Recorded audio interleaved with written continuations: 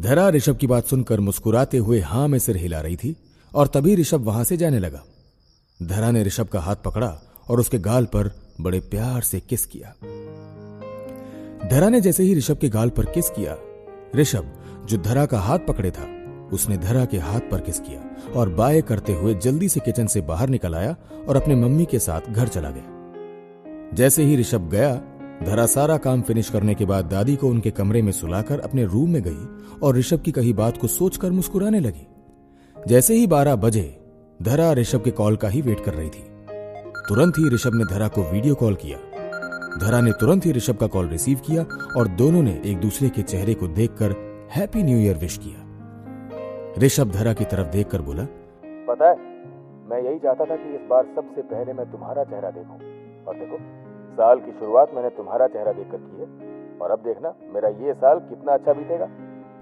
धरा ऋषभ की बात सुनकर मुस्कुराने लगी और बोली ऋषभ आज का हम पूरा दिन एक साथ नहीं बिता सकते क्या? ऋषभ ने धरा की बात सुनकर कहा क्यों नहीं बिता सकते?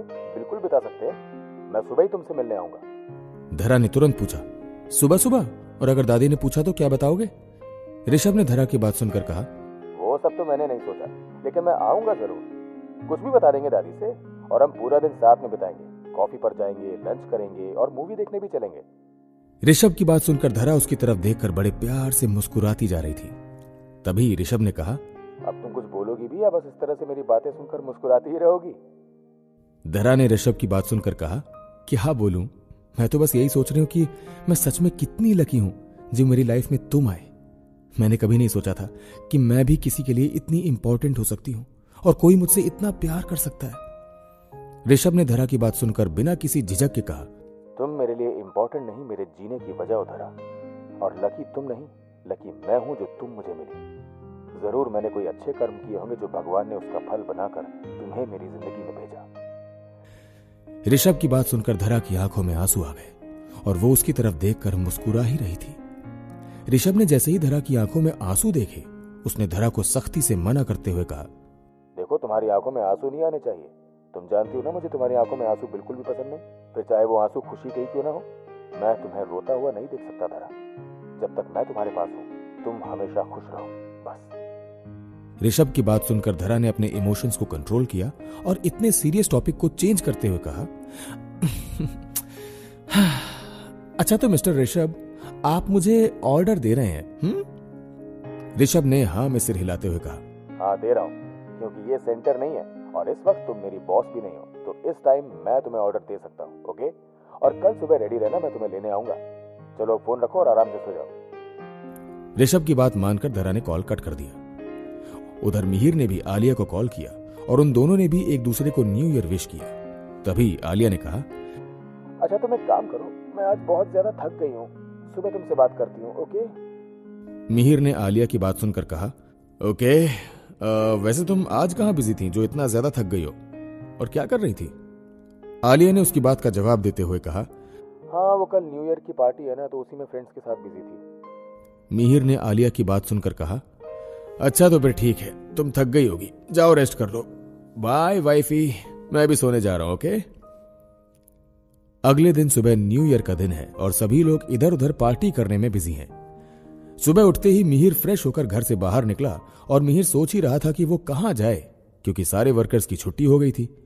इस टाइम सिर्फ़ टी हाउस ही ओपन था, बाकी मिहिर के सारे ऑफ़िस बंद थे। मिहिर ने सोचा, क्यों ना वो भी न्यू ईयर की पार्टी के लिए कहीं जाए। लेकिन मिहिर के सारे दोस्त भी इस टाइम अपने अपने घर गए हुए थे तो उसने अपने मन में सोचा, एक काम करता हूँ, चेतन अंकल के पास चला जाता हूँ। कुछ देर बैठकर उनसे बातें भी कर लूँगा, क्योंकि वो भी तो अकेले ही है। मिहिर इतना सोचकर फूलों का एक गुलदस्ता लेकर चेतन के घर पहुँचा।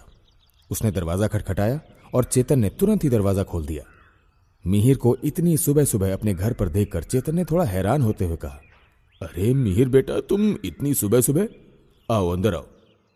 चेतन के बुलाने पर मिहिर तुरंत उसके घर के अंदर आया और चेतन को वो फूलों का गुलदस्ता देते हुए बोला happy new year Chetan uncle. Actually इस टाइम मैं शहर में अकेला था। मेरे सारे फ्रेंड्स अपने अपने होम टाउन गए हुए हैं। और फिर मैंने सोचा आप भी अपने घर में अकेली तो होंगे। तो क्यों ना मैं आपके साथ आकर न्यू ईयर सेलिब्रेट कर लूँ? अगर आपको कोई प्रॉब्लम ना हो तो क्या मिहिर बोल ही रहा था कि तभी उसके हाथों से फूलों का गुलदस्ता अपने हाथ में लेते हुए उन्होंने कहा बहुत अच्छा किया जो तुम आ गए बेटा। वैसे भी मैं अकेले घर में बोर ही तो हो रहा था। आओ चलो बैठकर थोड़ी बातें करते हैं। तभी मिहिर ने कहा ए, एक मिनट मैं बस अभी आया। मिहिर को फिर से उठकर बाहर की तरफ़ जाते देखकर चेतन अपने मन में सोचने लगा अब इसे क्या हुआ? अभी अभी तो आया था। इतनी जल्दी ये बाहर की तरफ़ क्यों जा रहा है?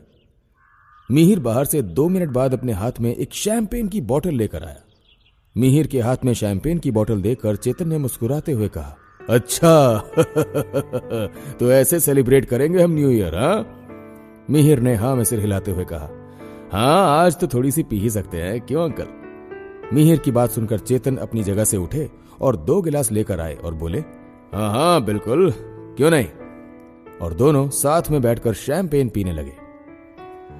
उधर धरा अपने घर में सुबह उठकर दादी को पहले ही न्यू ईयर विश कर चुकी थी और धरा दादी के साथ ब्रेकफास्ट कर रही थी।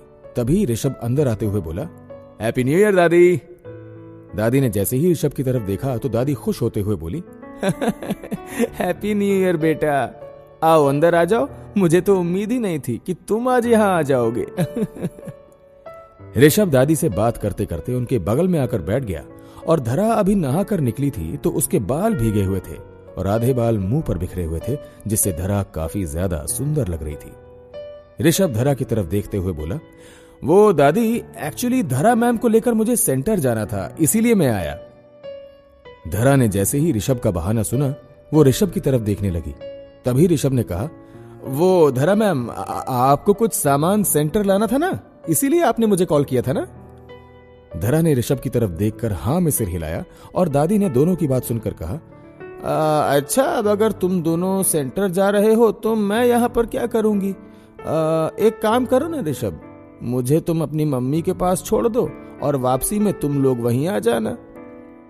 ऋषभ ने तुरंत हा में सिर हिलाया और धरा की तरफ़ देखकर कहा तो चलिए धरा मैम.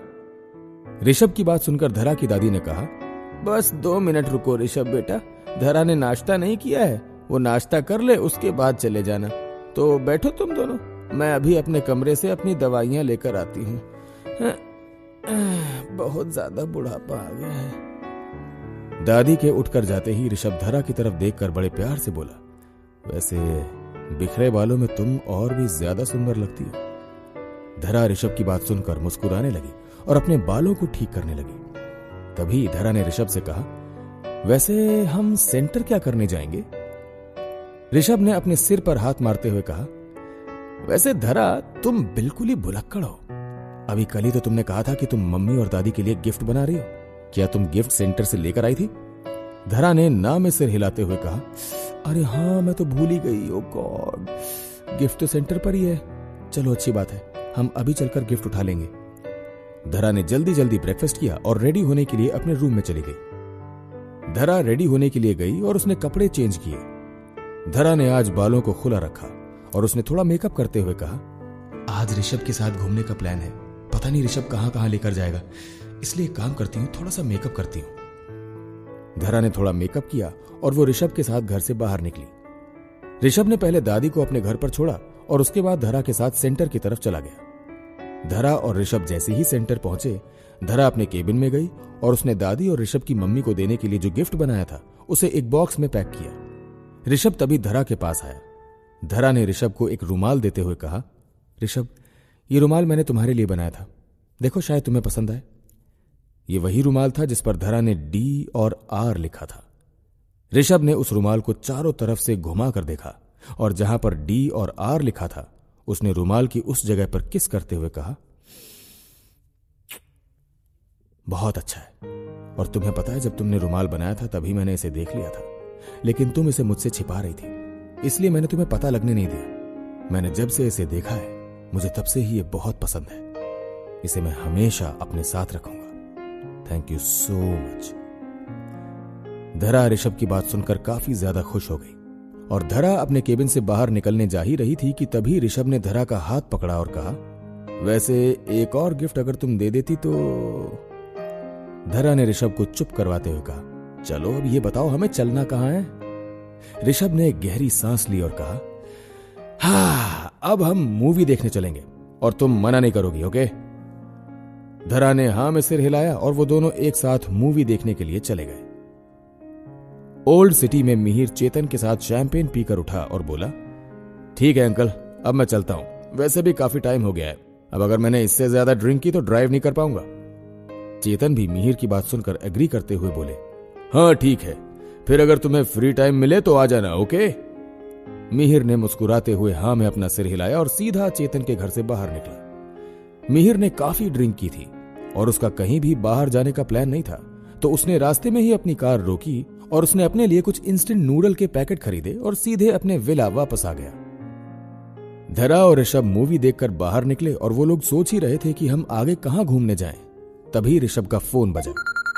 ऋषभ ने धरा की तरफ़ देखकर कहा, मम्मी कॉल कर रही है, एक मिनट पहले मैं मम्मी से बात कर लेता धरा ने ऋषभ की बात सुनकर हाँ में सिर हिलाया और ऋषभ ने कॉल पिकअप करके कहा हेलो मम्मी, क्या हुआ? ऋषभ की मम्मी ने घबराते हुए कहा, ऋषभ, कहाँ हो तुम? धरा तुम्हारे साथ है क्या? ऋषभ ने हाँ में अपना सिर हिलाया और कहा हाँ मम्मी मैम मेरे साथ ही बोलो क्या हुआ? ऋषभ की मम्मी ने कहा जल्दी से धरा को लेकर घर आओ वो धरा की दादी ऋषभ ने जैसे ही अपनी मम्मी के मुँह से ये बात सुनी ऋषभ ने घबराते हुए कहा क्या हुआ दादी को? हम अभी आते हैं आप चिंता मत करो ठीक है? हम दोनों अभी आते हैं। क्या हुआ आखिर धरा की दादी को? क्यों ऋषभ की मम्मी इतनी ज़्यादा परेशान थी? क्या न्यू ईयर वाले दिन कोई अपशकुन होने वाला है? जानने के लिए सुनते रहिए रईस ज़्यादा सिर्फ़ और सिर्फ़ पॉकेट एफ़ पर।